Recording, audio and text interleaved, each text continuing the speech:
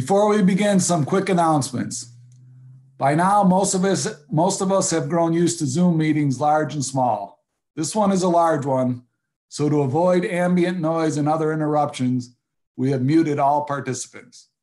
We will unmute when it's time to recite the Athenian oath, which we hope to hear everyone participate in reading towards the end of the ceremony.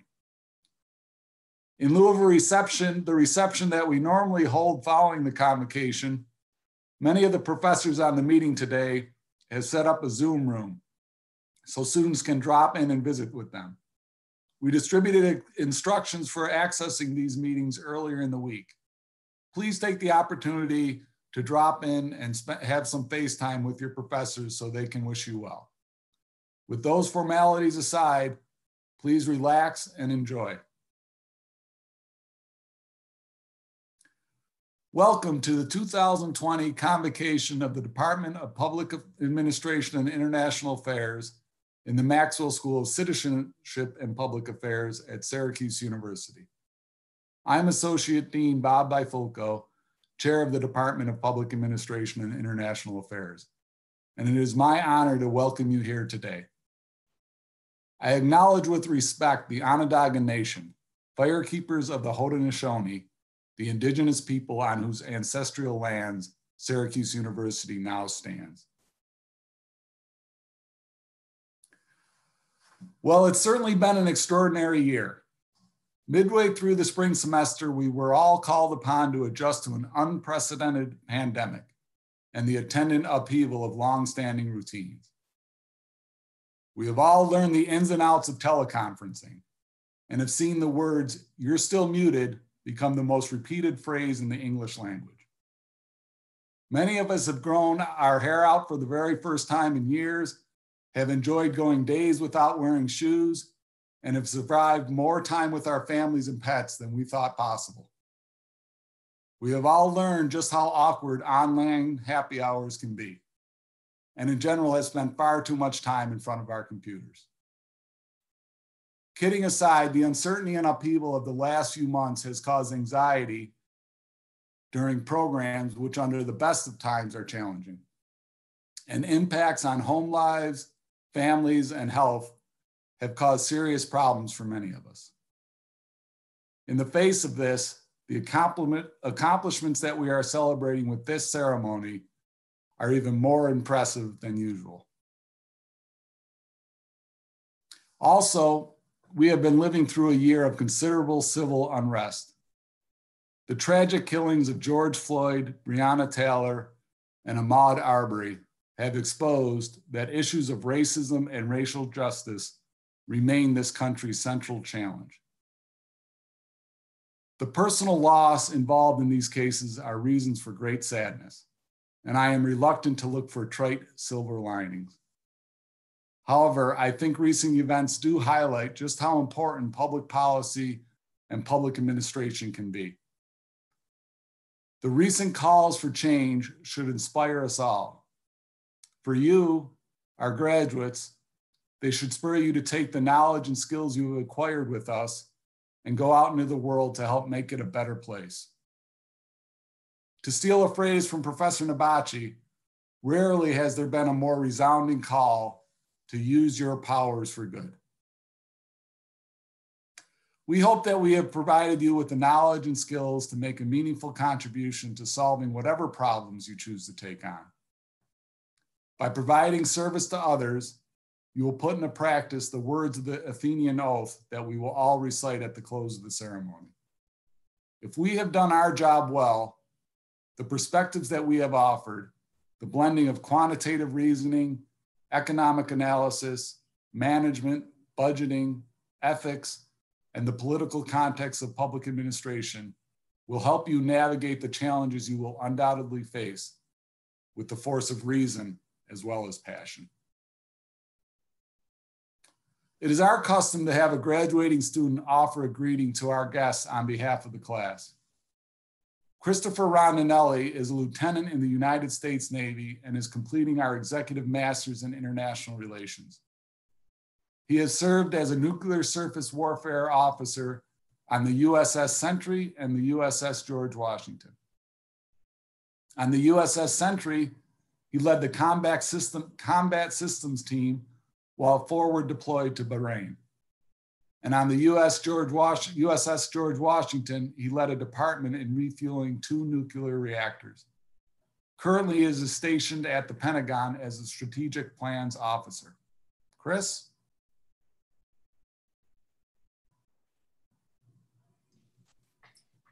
Thank you, Professor Bifulco. Uh, good morning, fellow graduates, esteemed faculty and staff, Maxwell trustees, families, and friends. It is my honor to welcome you to the 2020 convocation. I think that it's safe to say that 2020 so far has not quite turned out to be what we expected. It's most definitely thrown some challenges our way and is the central reason why we are all attending our graduation online rather than in person today. But not to be deterred, we should apply and embrace the abiding and inspiring mantra that has helped us face 2020 so far. We stand together. To get to this point, each one of us has had help from so many people our families, parents, siblings, spouses, children, and our friends, old and new, have supported us through our studies each and every step of the way so we could stand here today and celebrate our achievements. Our professors whose superior knowledge and excellent teaching has allowed us to learn, explore, and grow, developing our understanding and forging new ideas as we head forth into our futures. Our fellow classmates who have challenged our thinking, shared new perspectives, and informed our ideas. Together, we have stood by each other's sides and forged new relationships that send us forward confidently into these challenging times. We stand together as we have all done through our studies, and we stand together as we face the new future ahead of us. And stand together we will. As students of the Maxwell School, we have a common bond that unites us all. So, with all that being said, know that as you take your next steps, you are not alone. We stand together. Congratulations. Thanks, Chris. Uh, it is now my pleasure to introduce to you Dean of the Maxwell School, David Van Slyke. Dean Van Slyke is the former chair of public administration and international affairs, and he's also a tenured full professor at the Maxwell School. He is a two-time recipient of the Birkhead Burkhead Award for Teaching Excellence, and he is also the recipient of the Louis A. Bantle Chair in Business Government Policy.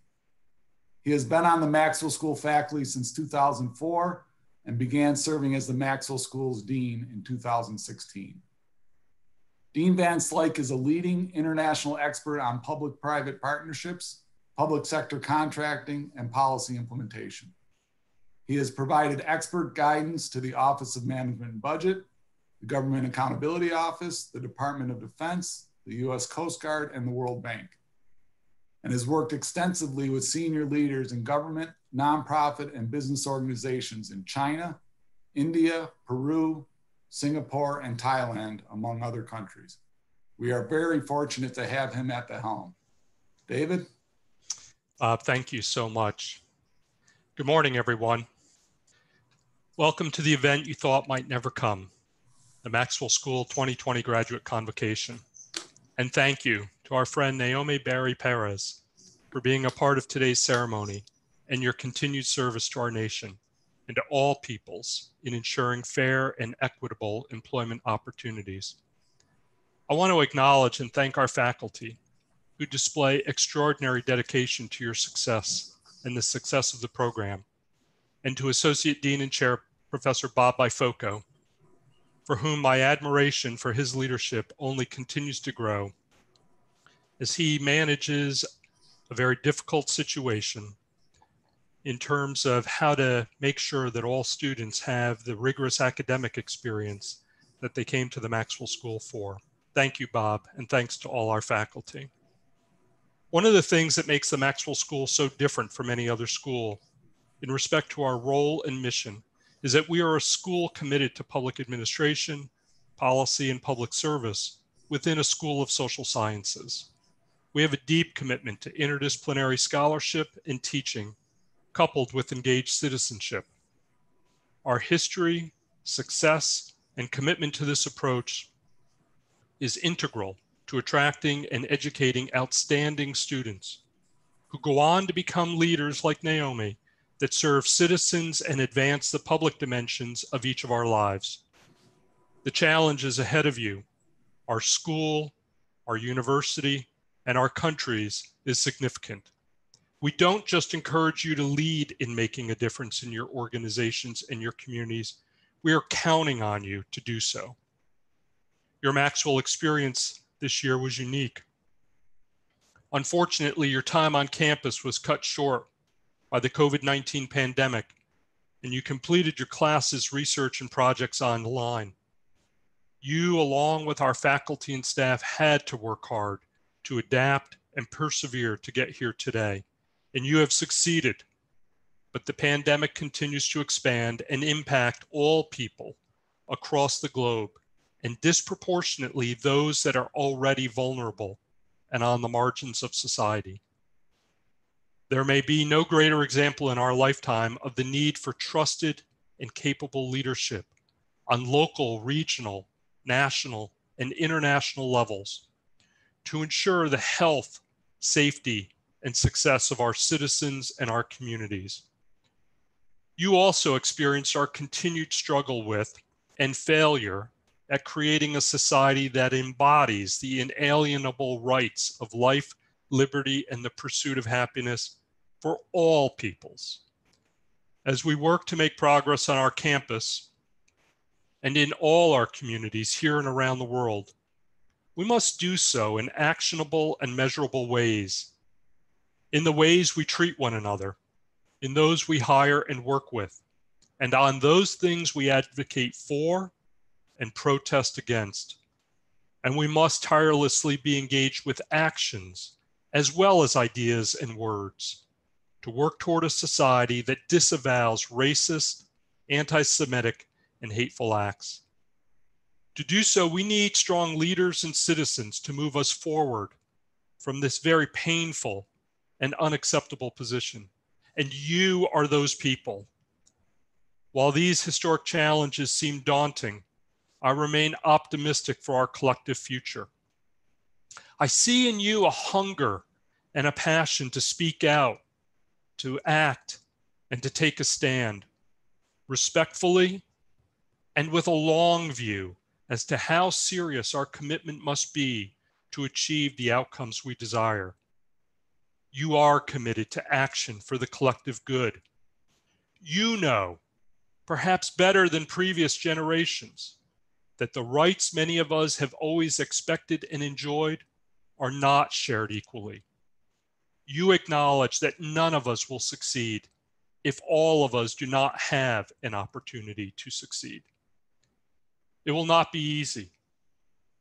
But I have a sense of what you have learned and experienced at Maxwell and I am certain that you are committed to the ideals of the Athenian Oath, and you are committed to ensuring that they apply to all, regardless of race, ethnicity, sexuality, gender, disability, or religious beliefs.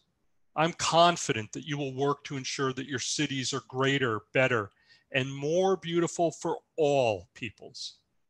And you will lead us in that and you will lead us and others in this work. You are committed to deeds and outcomes and not only words. We share a great sense of pride in your achievements on this special and happy occasion. Your greatest supporters, your greatest fans are with us today. And I'd ask you to join me in a round of applause for your family members and for the faculty and staff who have provided support and encouragement. I thank our graduates for making the decision to invest in strengthening our nation and many other nations around the world. We respect and value your work on behalf of public, nonprofit, and private organizations that are committed to making a positive difference in the lives of others. Your desire to give back in a variety of ways and the public responsibilities that you will take on professionally and philanthropically through your voluntarism and giving are important contributions to advance our societies. Maxwell has a broad reach and its 33,000 dedicated alumni in 147 countries welcome you to a powerful worldwide network. When you entered Maxwell, you became part of the ever expanding family. And on Monday, another class will enter. And they, along with all of our undergraduate and graduate students and Maxwell, will need your support in the future. There are four things that I ask every Maxwell graduate to do, and they are things that you can do that we need you to do immediately, starting today, tomorrow, or next week. First, refer great prospective students to Maxwell, both for their graduate and undergraduate education. Help Maxwell students and alumni network for internships and job opportunities at the great organizations where you work and volunteer. Stay in touch with us and brag to us about yourself and your careers. Maxwell's reputation is elevated by the incredible work and success of our graduates. We will celebrate your news widely in our communications. And please make Maxwell a philanthropic priority in your life. Among the many organizations you may choose to support with your charitable giving, once you're done paying your college loans. Maxwell is worthy of your investment and generosity. As Dean, I can promise you that every gift is important to Maxwell's success, and we will use that support well. It is my privilege to congratulate you, your families, and friends on your achievements here. We know it is just the start of your many contributions to society, to the Maxwell School, and to Syracuse University in the future. Congratulations to you Thank you for being a part of Maxwell. Good luck and go Orange. Thank you, Dean Van Slyke. It is now my privilege to introduce to you your convocation keynote speaker. Naomi Barry Perez holds a bachelor's degree from Mount Holyoke College and an MPA from the Maxwell School. In addition, she held a public interest law fellowship at Georgetown University, where she received a law degree. Ms. Barry Perez has served as Director of Civil Rights for the U.S. Department of Labor since 2012. In this position, she directs the Department of Labor's Civil Rights Enforcement and Compliance Program. She also serves as, the, as a principal advisor to the Secretary of Labor on civil rights and equal employment opportunity. Ms. Barry Perez is the recipient of numerous natural, national awards, including the Congressional Hispanic Caucus Institute Alumni Achievement Award, Secretary of Labor Exceptional Service Awards, and the inaugural Federal Employee Leadership Award given by the National Farm Worker Conference. Among her many accomplishments, Ms. Barry Perez has published implementing regulations for the Workforce Innovation and Opportunity Act, regulations which significantly enhance enforcement of civil rights protections. She established a reasonable accommodation resource center to help research, test, implement, and monitor reasonable accommodations for employees with disabilities. She has actively steered efforts to advance an awareness of the rights of lesbian, gay, bisexual, and transgender individuals, efforts which have resulted in the issuance of comprehensive policy statements and actions. Additionally, she was responsible for coordinating efforts pertaining to persons with limited English proficiency and migrant seasonal farm workers, resulting in the department's guidance regarding the prohibition against national origin discrimination. You will hear several calls today to use your newly acquired powers to make the world a better and more just place. There is no better example I can offer for how to do that than Naomi Barry Perez, who I'm honored to welcome to today's ceremony. Thank you and good morning. Thank you, Associate Dean Bifulco, Dean Van Slyke, faculty and staff, and my fellow alumni for the honor of addressing you today. I am also joined by some former classmates and other friends who support me and hold me accountable and will do the same for you. I am a career public servant, and the following remarks are my own and are not meant to reflect any position of my employer.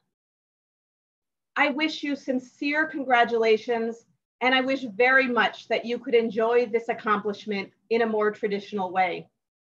I wish you could shake hands with your professors, laugh heartily with your classmates, and continue passionate conversations with the goal of solving the world's problems.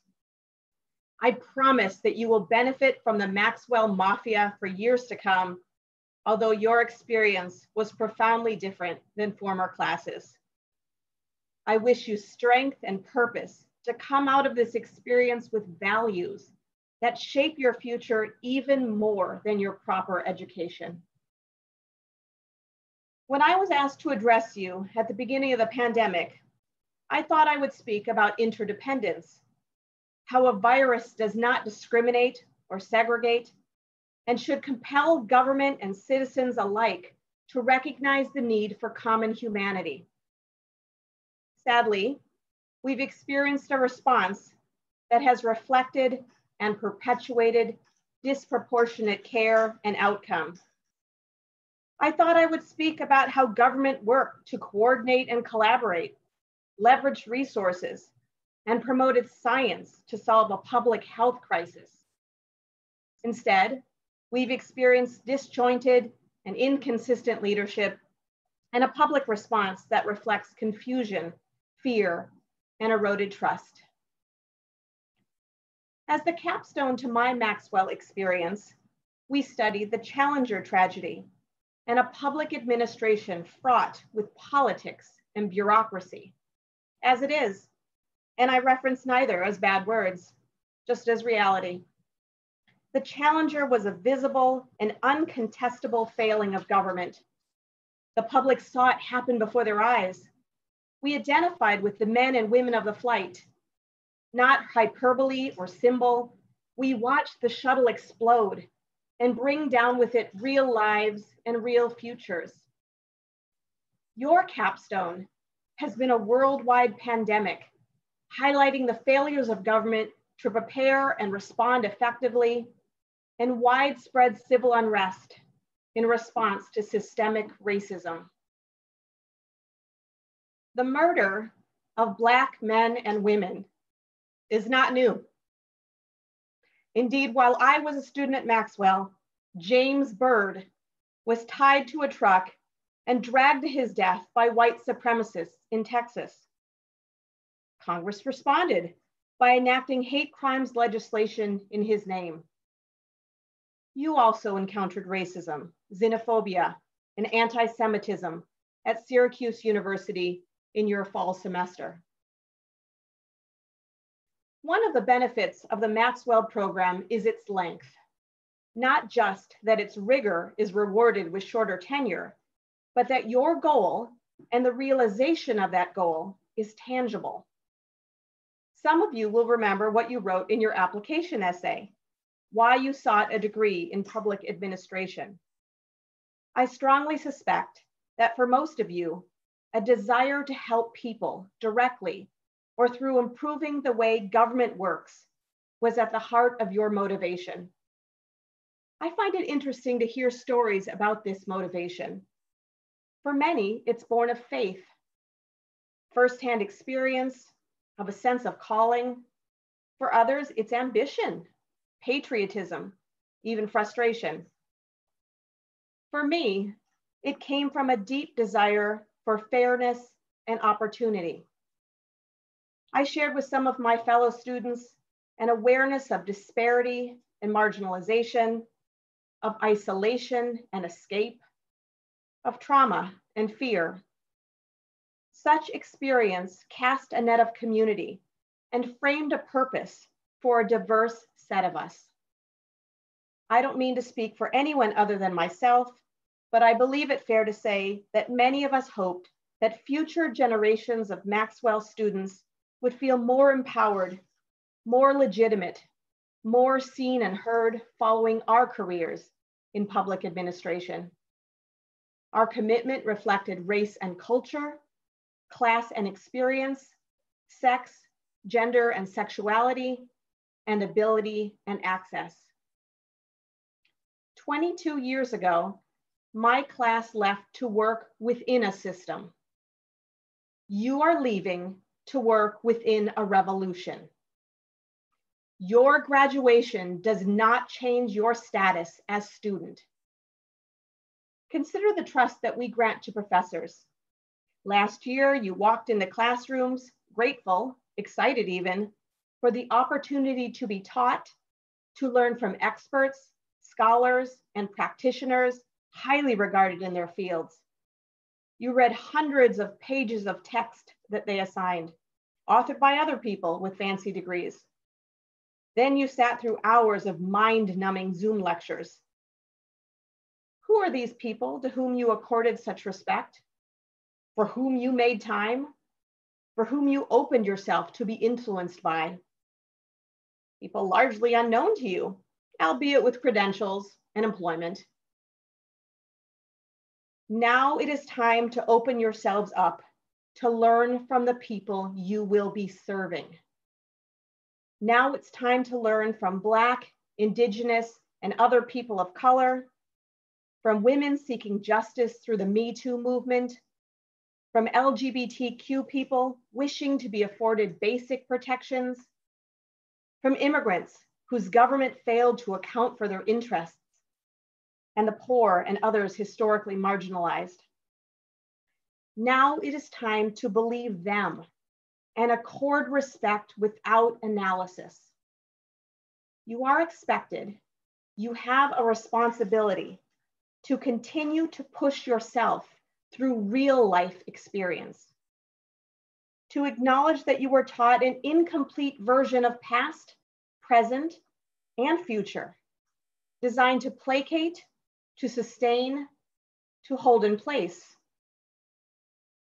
Appreciating that it is a privilege to represent, a privilege to affect people's lives, an approach without consultation and inclusion is conceited and patronizing. The motto of the disability rights community is nothing about us without us. The culture of public service must center itself on the promotion of respect and agency to the people we are serving. Given what we've been confronting, perhaps you, like me, wept upon learning of the Supreme Court's decision in Bostock v. Clayton County last week. Some wept from joy and relief.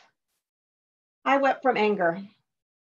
Through the legal analysis and pontification of separation of powers, this was a case of admitted, unapologetic discrimination in employment. That an employer can withhold or withdraw a person's ability to work and earn an income. That an employer can deny a qualified individual an opportunity and disadvantage the employee, the customer, and the business in doing so. That an employer can exploit a worker by considering factors other than effort and outcome completely contrary to common sense. Add to that stupidity, hatred, bias, and a superiority complex. And then an obscene amount of money and time spent not only to defend the specific employers, but all employers' right to perpetuate this behavior that has no purpose but to harm. I have worked myself beyond deep offense to a system that facilitates an academic consideration on the permissibility of discrimination.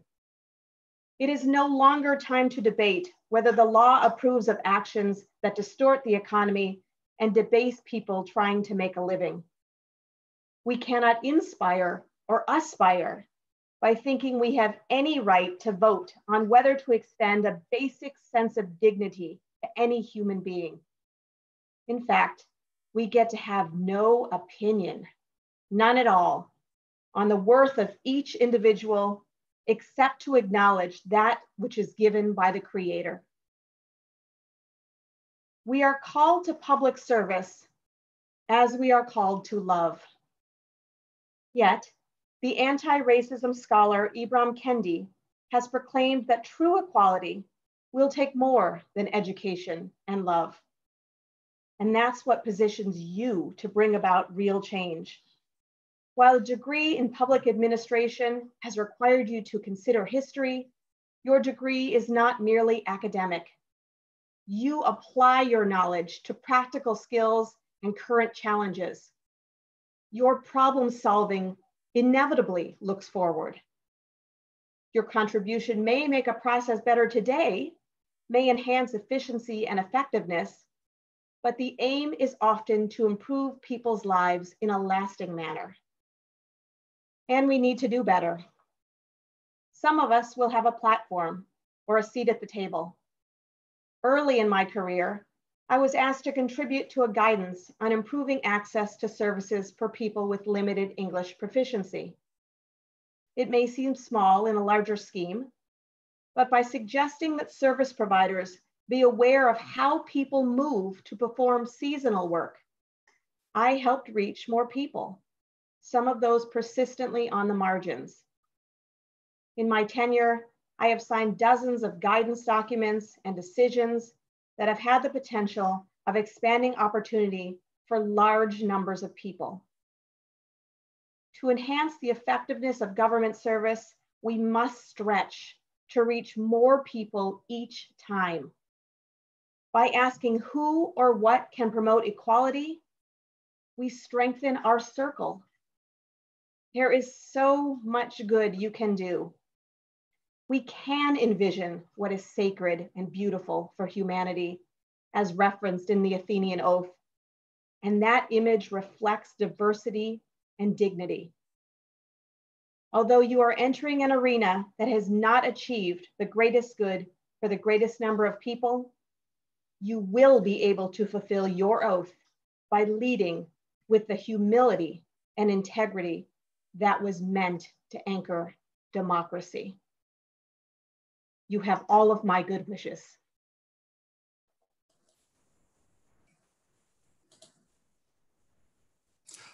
Thank you, Naomi. The Department of Public Administration and International Affairs has an award called the Burkhead Burkhead Award, named after the late Guthrie Burkhead, the sixth dean of the Maxwell School, and the late Jesse Burkhead, who was a professor of economics and public administration. The award recognizing, recognizes teaching excellence by a faculty member in the Department of Public Administration and International Affairs. And the selection is made by a committee of faculty and students. Last year's Burkhead Burkhead recipient was Mika Rothbart. Professor Rothbart will address you today and then announce the 2020 award recipient. Mika? Congratulations, graduates, for your excellence this past year and your continued discipline despite the challenges of recent months. We commend your efforts towards making yourselves more capable and better prepared to meet the challenges yet to come. What's more, you made those investments in the pursuit of public service and citizenship, not to benefit yourselves alone, but to work towards a better collective condition for our world. I also believe that congratulations are owed to those who have supported you to get to this point including your partners, families, and friends. It is a tribute to them that you accomplished so much during difficult times. Nobody has accomplished anything of note going it alone. Today, I want to talk to you about justice. James Madison, one of the founders of this country and its fourth president, wrote in Federalist 51 Justice is the end of government. It is the end of civil society. He continued, It ever has been and ever will be pursued until it be obtained, or until liberty be lost in the pursuit. In other words, Madison hearkened back to biblical texts, Deuteronomy 16:20, which states, "Justice, justice shall you pursue." And so my call for you today, and our hope for you as you advance in your careers in public administration, is that justice remains at the fore of what you chase and at the core of what you do. This is, of course, not just an American premise or a Judeo Christian ideal, but rather an ethical imperative that stands at the center of every civil society. That we work towards a collective sense of truth, reason, principles, and ideals. That we treat each other fairly and mind the world in which we live. But justice is not merely the absence of falsehoods and maltreatment. Justice requires affirmative efforts. Pursuing justice means protecting the rights of today taking corrective action for the wrongs of the past, and being brave enough to fight the wrongs of the present. We must pursue justice even as some try to deny it. It is not sufficient to be good to our families or act kindly to our neighbor. We also must fight for the stranger to make sure they too have access to just processes and are treated justly. In other words, be just, act justly, and most importantly, pursue justice. Just and justly are both laudable ways to be described, but justice is the ends of civil society and government itself. Justice is a call to action. In performance management, we would say that justice is the goal. Acting justly and being just are simply output and objectives. You can't only be agents of good, you must also be agents of change for the better. Justice, justice shall you pursue. As you peer out into your future and the pursuits ahead of you, consider the words of Theodore Parker, a mid 19th century abolitionist and Unitarian minister, who said, I do not pretend to understand the moral universe. The arc is a long one. My eye reaches but little ways. I cannot calculate the curve and complete the figure by experience of sight. But I can divine it by conscience. And from what I see, I am sure it bends towards justice. This sentiment was paraphrased most famously and most succinctly by Dr. Martin Luther King Jr., who said, The arc of the moral universe is long, but it bends towards justice. But if the arc is bending anyhow, then why must we work so hard? Reverend Parker and Dr. King were not historical determinists, and they did not believe justice is preordained. While the arc of morality bends towards justice, it is our efforts that press the bending of that long arc. The arc of the moral universe depends on our work, our pursuits to end slavery, our pursuits to end Jim Crow, and our pursuits to end the state's use of physical force against its citizens without providing them so much as due process, a trial, and a jury of their peers. Justice, justice shall you pursue. Your effort, your process, your work in the service of justice is what you should strive for even if you are unable to complete the task, even though you will likely stumble, even though you may fail. The entire history of civil society has been one of us coming up short in our pursuit of justice, and yet we must persist. Now is our time to get principled. Now is the time for us to get to work. Now is the time for us to pursue justice with everything we've got. And if not now, when? Justice, justice shall you pursue until, as Madison said, it be obtained or until liberty, until our freedom be lost in the pursuit. Be just, act justly, and pursue justice. Let's get to work. At this time, I am honored to announce this year's Burkhead Burkhead Award and Professorship winner. During a trying year on campus and around the world, this person showed resiliency to adapt to uncertainty and empathy for the challenges faced by students. It was wonderful to read comments from students that lauded how this professor's teaching met the gravity of the day. One student called out a course for combining real-time issues with the historical aspect of social policies. Another cited that the professor did a really nice job stimulating respectful discussions on issues that can spur a lot of emotion. A third student stated that in difficult times, Dr. So and so, sets an example of the empathy and resolve needed to properly teach and mentor students. I couldn't think of three descriptors that would make someone more deserving of this award in this year. The 2019-2020 winner of the Burkhead Burkhead Award and Professorship is Dr. Katherine Michelmore. Congratulations, Dr. Michelmore.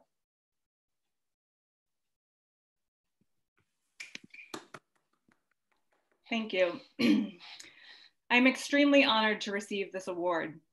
I feel very lucky to be a part of the Maxwell community, and this award means a lot to me. I feel like I have one of the best jobs in the world to not only teach, but also learn from such a wonderful group of intelligent, passionate, dedicated students. You probably knew coming into this program that it would be a difficult year, but I bet you had no idea just how difficult this year would be.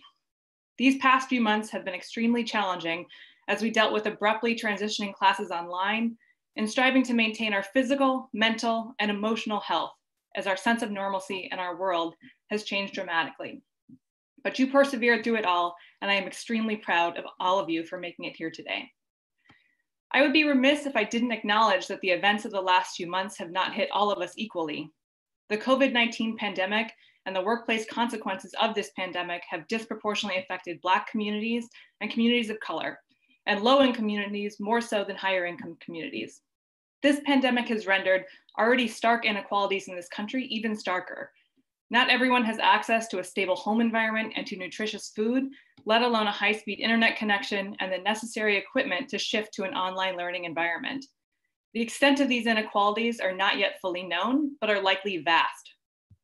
Beyond that, of course, is the growing sense of injustice in our country, as some of us come to terms with what many have known for far too long that the systems and policies that have been in place in this country have benefited some of us while not only leaving some of us behind, but actively keeping some of us behind, the consequences of which have been felt by generations and may be felt for future generations to come.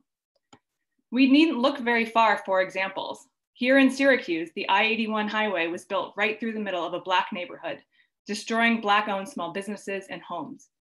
Similar examples can be found across the country, and the consequences in conjunction with decades of discriminatory housing practices can be summed up in a single statistic. On average, for every dollar of wealth held by white families, Black families hold just five cents. And that gap gets even wider at the top of the wealth distribution. This is just one dimension of one metric of inequality in our country today.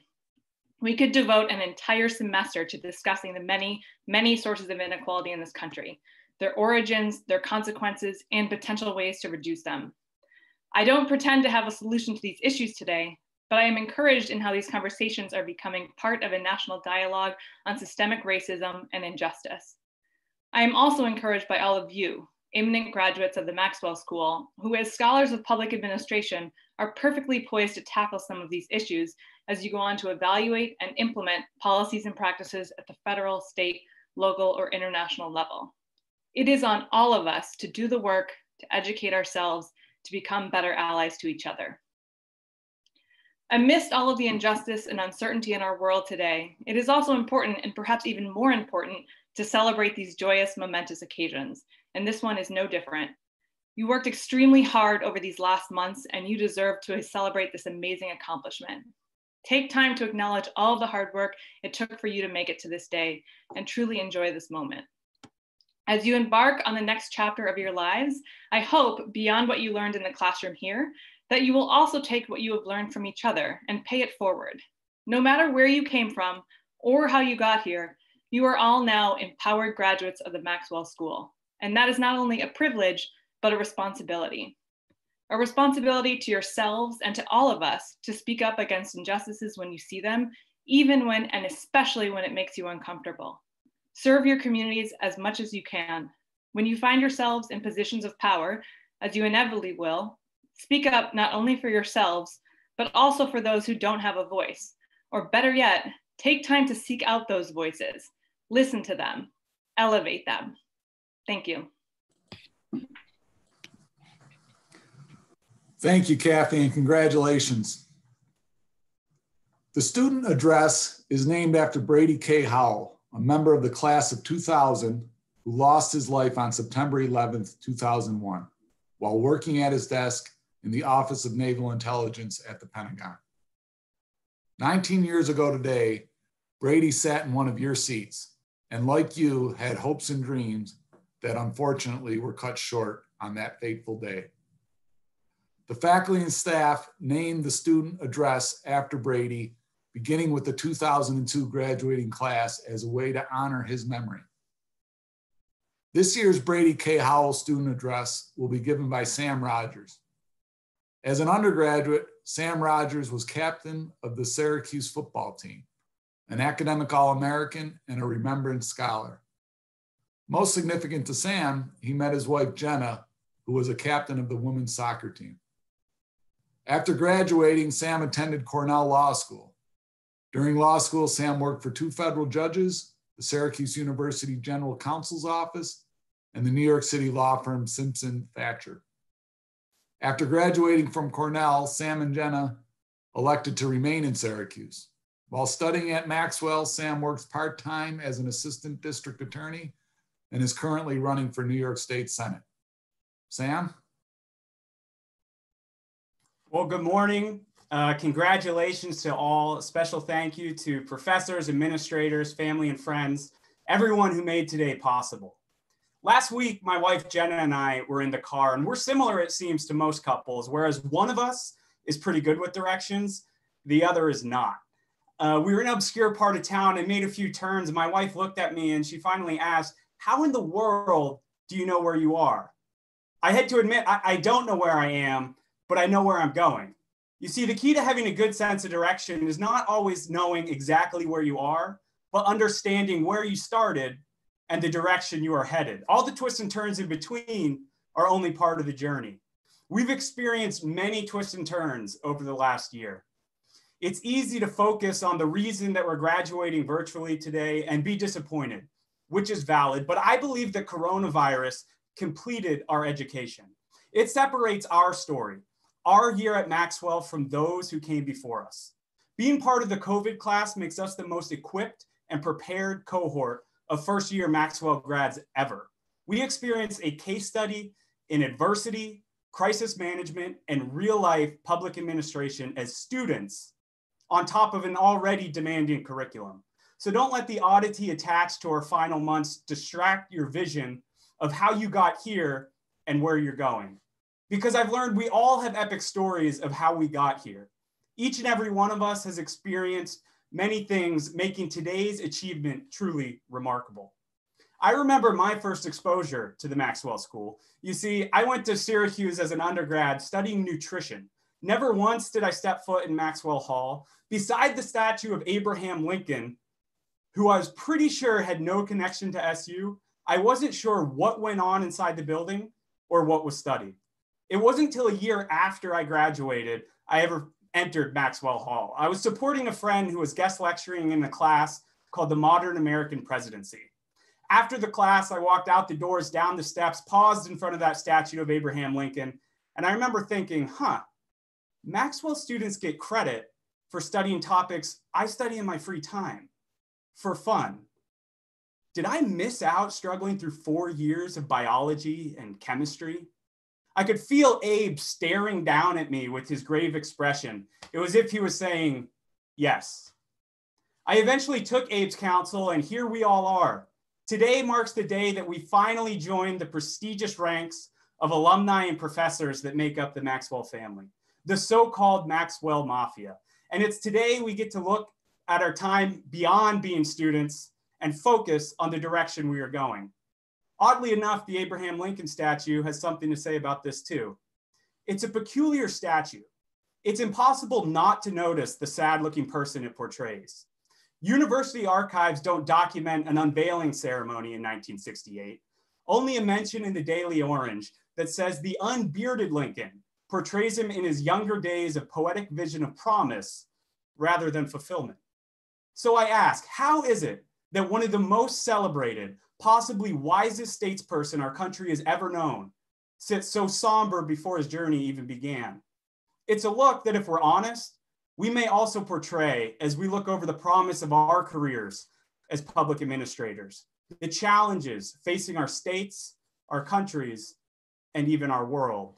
Lincoln knew that leadership in public administration has a price. Lest we forget, Abraham Lincoln was the face of a brand new political party. With only the news of his election, seven states immediately left the Union, claiming he is not our president. Lincoln embarked on a war that killed more Americans than any other. He fired many generals. He was the first and only commander in chief to achieve victory, then afterwards have to lead the winners and the losers. With one signature, he proclaimed to everybody that Black Lives Matter. He said a path to Reconstruction defined by grace, and seven days after peace was guaranteed by General Lee's surrender, Lincoln was forever laid to rest in peace. It's easy to study his tumultuous life with hindsight and acknowledge his brilliance, but what firsthand accounts make clear is that at the time, each decision was scrutinized and criticized from all angles. Voices spoke about Lincoln's inferior character, labeled him a man unequal to the crisis he faced. But there Lincoln remained, with the courage to withstand his moral critics. Moral critics meaning people who not only question the premise of your belief, but attack your character for daring to hold such a belief. Friends, welcome to the career of public administration. There will be a day we will read of the public decisions of our colleagues graduating with us today. Some of us may rejoice in their wisdom, others will question their logic, but let us all acknowledge their hearts and the principles formed together in the Zoom chat rooms and halls of Eggers and Maxwell. For had we been together in 1968 when the Lincoln statue was placed, we would have noticed the seemingly odd decision not to position Lincoln in a way to make Maxwell Hall his eternal backdrop. It was an intentional decision to turn Lincoln 90 degrees, make him gaze over the Syracuse community, a representation to Maxwell students that when we walk out of the building, we have an obligation to our communities to take hold of our moral courage and stand strong in the face of critics. So to my classmates, my hope is that we take on the inevitable criticism attached with our career choice with honor. Never forget where you started, the lessons learned from what you experienced, and never lose sight of the direction you are going. If possible, find someone willing to get lost with you along the way. And as we take our degrees and intend to make our marks on our respective communities, remember this quote. If you wish to avoid criticism, say nothing, do nothing, and be nothing. Thank you. Let's get to work.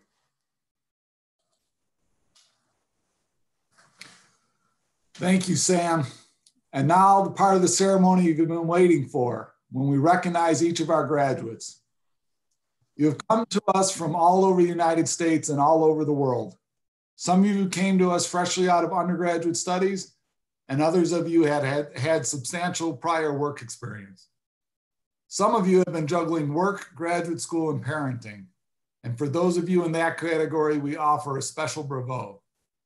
So now, without further ado, please roll the tape.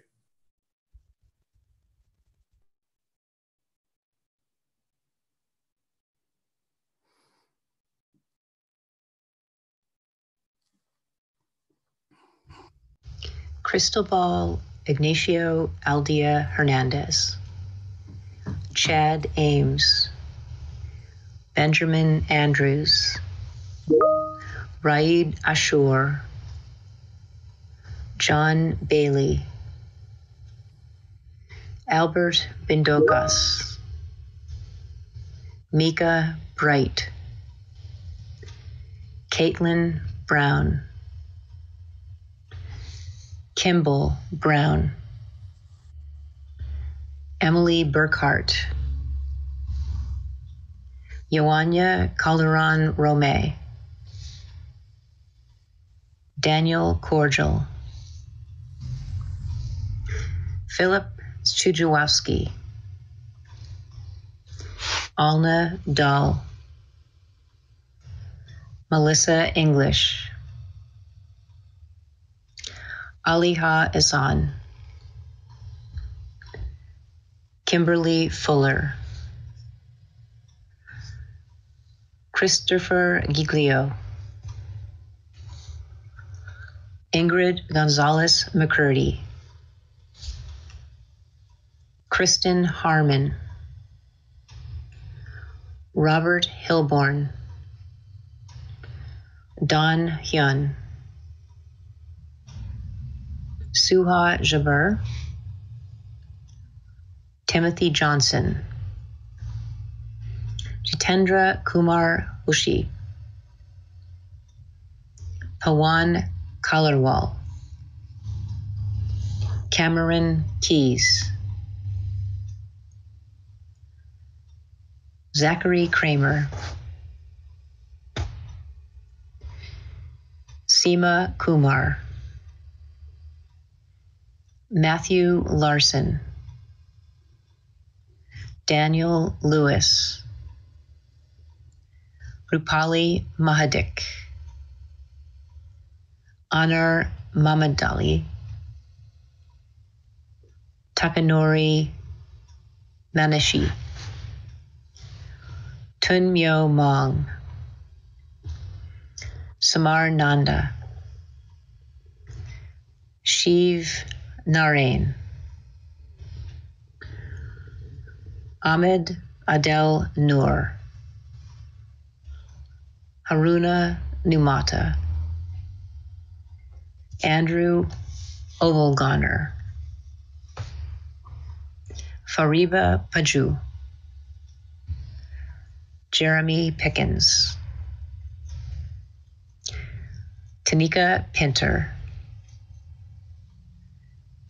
Catherine Quartaro, Catherine Ramlow,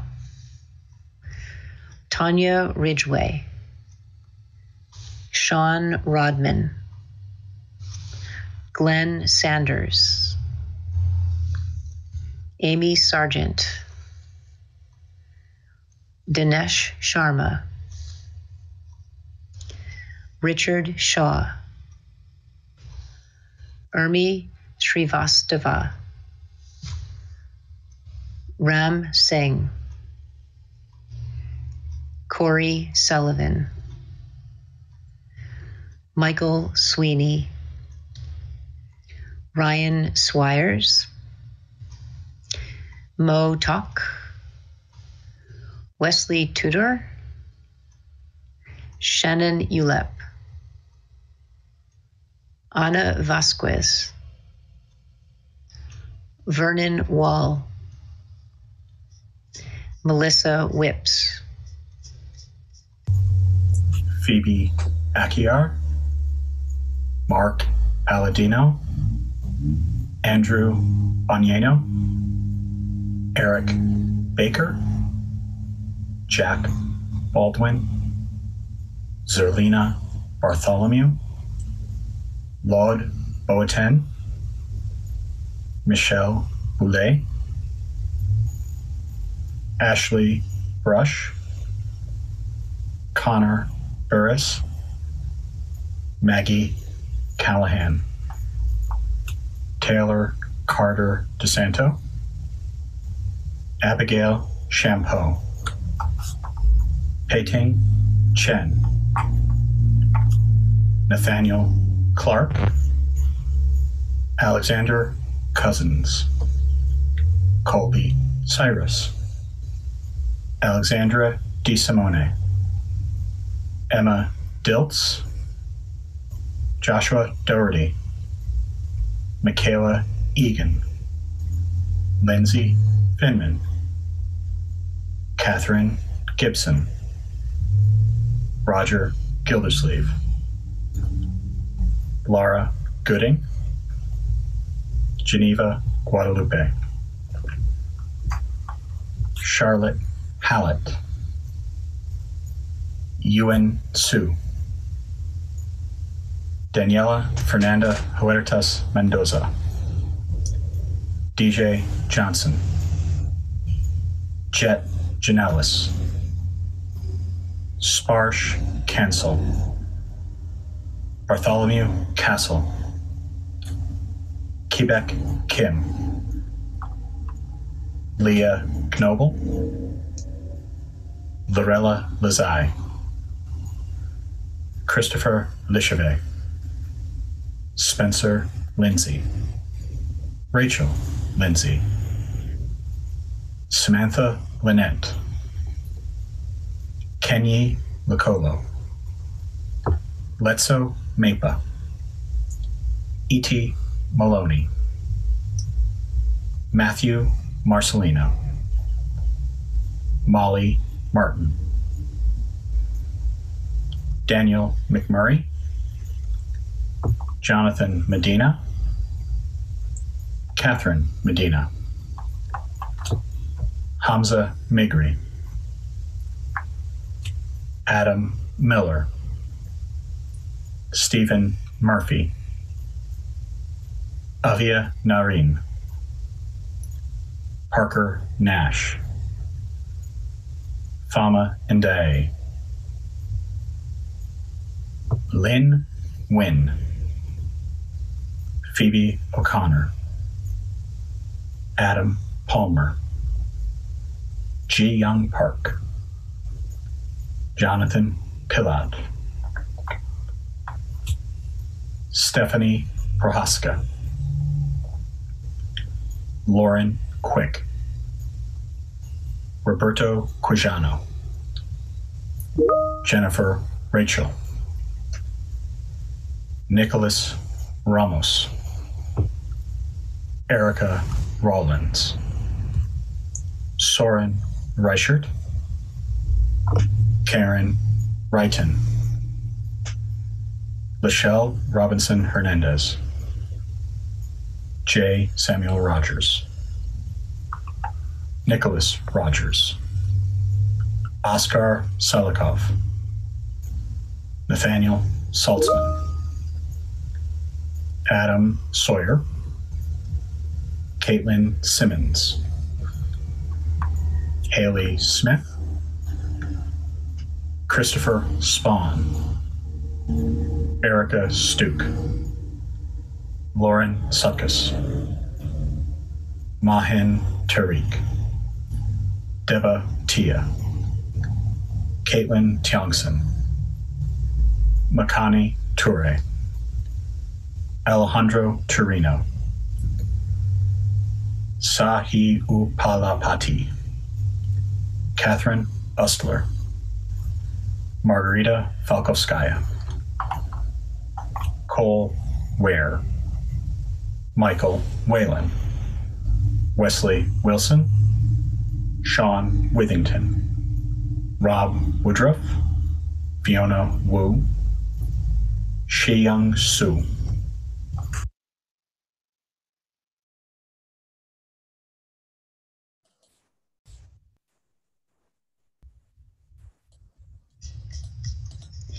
Roni Ackerman, Dumisa Adams,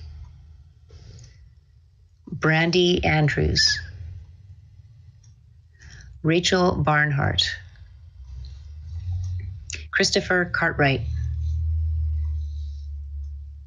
Philip Fant, Miguel Figueroa, Frank Hackett, James Hartman, Kathleen Hoffman, Ryan Holak, Peter Karpinski, Jeffrey Kavulia, Shumaine Kiddison, Angie Laurie, Bradley Leon, Julie Medler, Andrew Meehan, Megan Miller, Meredith Mullen, Joseph Novak Jr., Matthew Passarell, Christopher Rondinelli, Thomas Strom, Margot Thomas, Vernon Utley, Dennis Vicarelli, Brandon White.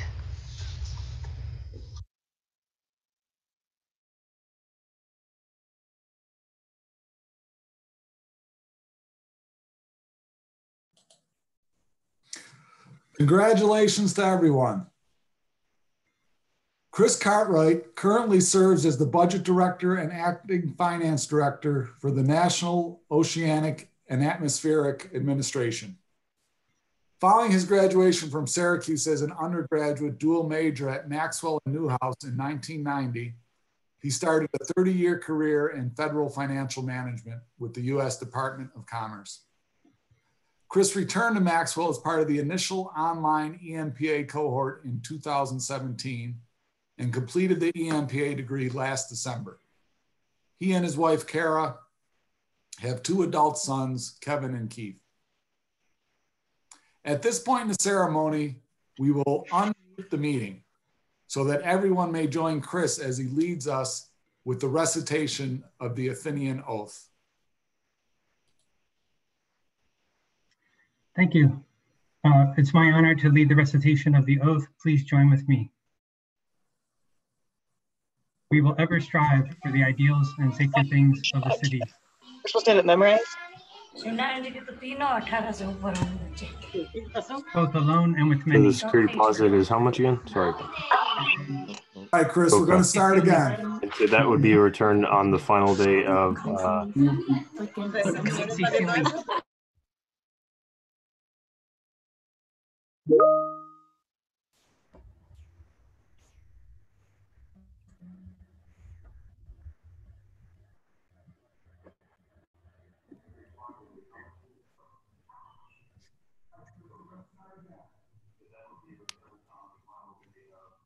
All right, Chris, we're going to try that again. We knew this would be an adventure, so we're going to try again. Ready?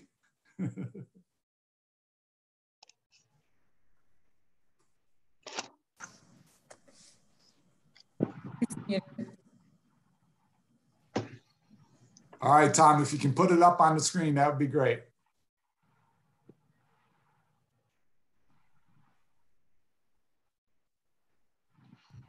We will ever strive for the ideals and ideals sacred of the things sacred things of the city. Both alone Alone and with many. Unceasing and seek to quicken the the sense of public. Revere and obey the and obey the city's laws. And obey Transmit Transmit the city, not only the less, but greater, and better, and more beautiful more than was beautiful than was committed to to us. us.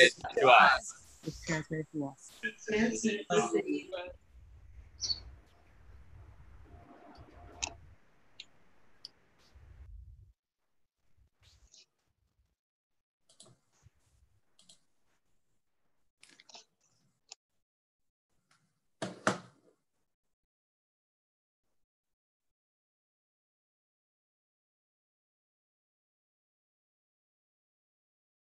Okay, we knew that was going to be an adventure, but we wanted to at least give you some some opportunity to participate uh, in, in the ceremony.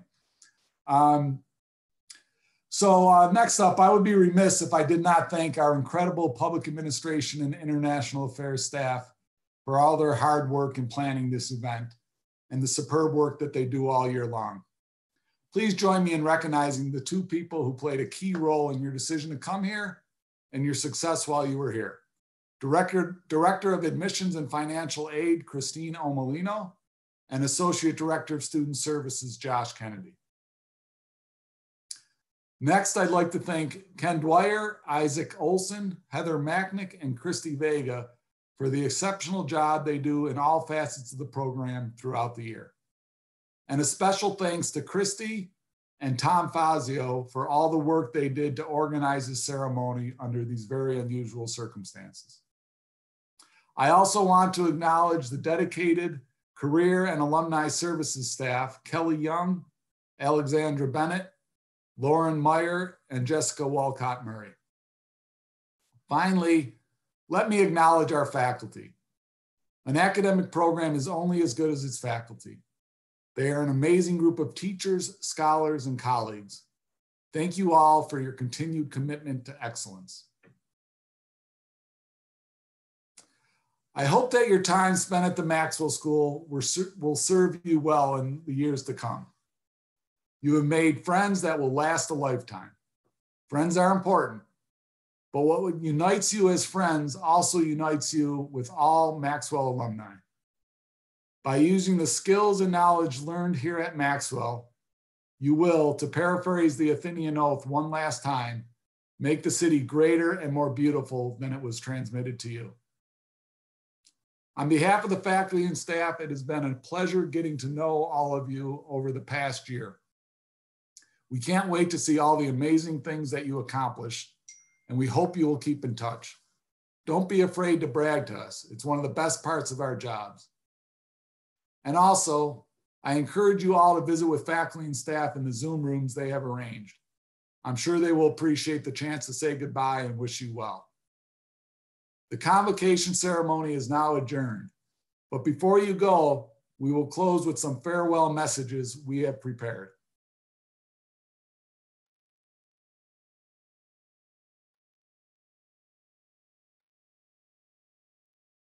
Thank you.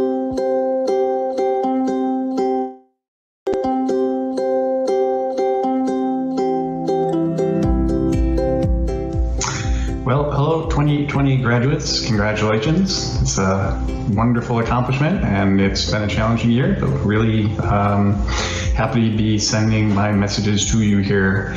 But before I do that, one last time. I want to remind you about the perfectly competitive market that maximizes total social welfare, where we have the area of consumer surplus plus producer surplus, and we have a market clearing equilibrium. Just wanted to get that in one last time. Can't stress it enough. And I want to say, well, it depends. And, well, it has a lot of moving parts because I know you've come to expect that from me at this point. Take care. Best wishes going forward. And I really enjoyed spending time with you this year in our very odd year. Take care. Congratulations. Congratulations. As someone who finished their MPA in the heart of the Great Recession, I just want to say you're going to be okay and you're going to do great things. For my favorite spot in Labrador Hollow, I'm Professor Colleen Heflin. Congratulations, graduates. I leave you with one thought from Albert Einstein strive not to be a success, but rather to be of value. Go do good. I'm so excited for you guys. Congratulations. Hi, everyone. It was a crazy and tough end of the year, but you all came through it with flying colors. I'm super proud of all of you. Congratulations and have a great summer. Hi, 2020 grads. It was such a pleasure to be part of your time at Maxwell, and I wish you my heartiest congratulations on your achievement and my best wishes for your future success. Congratulations, everyone. It's been a tough year, but you're an awesome group and have been up to it in every respect. Smart, strong, super resilient, and you have great pets. Good luck with all the challenges ahead and stay in touch. Congratulations to the class of 2020. I'd like to wish you a hearty congratulations. Thank you for spending time with us at the Maxwell School. We wish you the very best luck and hope that you'll keep in touch. Congratulations to all of you. Best wishes for a wonderful career launching from uh, Maxwell. Hey, graduates. Your persistence this year is evidence you're ready to engage challenging problems. As a person of faith, I'm optimistic about your future. I believe each one of you is made with a purpose to help restore what is broken, so go serve the world. Congratulations. Three Maxwell MPAs walk into a bar. You'll be able to do that someday, and it'll be really cool. Congratulations. Congratulations to everyone graduating. We're so proud of you. You did it, and under some pretty extreme circumstances. We're so excited to see what you do next. Congratulations again. Congratulations, everybody. So proud of everything you accomplished and so happy about what you brought to the Maxwell School. Best of luck to you in the future. Congratulations, everyone. As you leave the halls of Maxwell and start the next exciting phase of your lives, remember be kind, don't cheat, and use your powers for good. Well done. Congratulations again.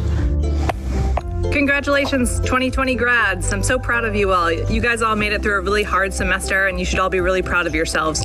Um, Henry would be wishing you a, a, congratulations as well, but he's too busy protecting our yard from, uh, from chipmunks and squirrels. Congrats. Hi, this is Nell Barkoviak, the director of the online EMPA program. Congratulations to all of our graduates. We are so proud of you. Please stay in touch. Congratulations, you made it. Remember, with great power comes great responsibility. Use your power for good. And please keep in touch.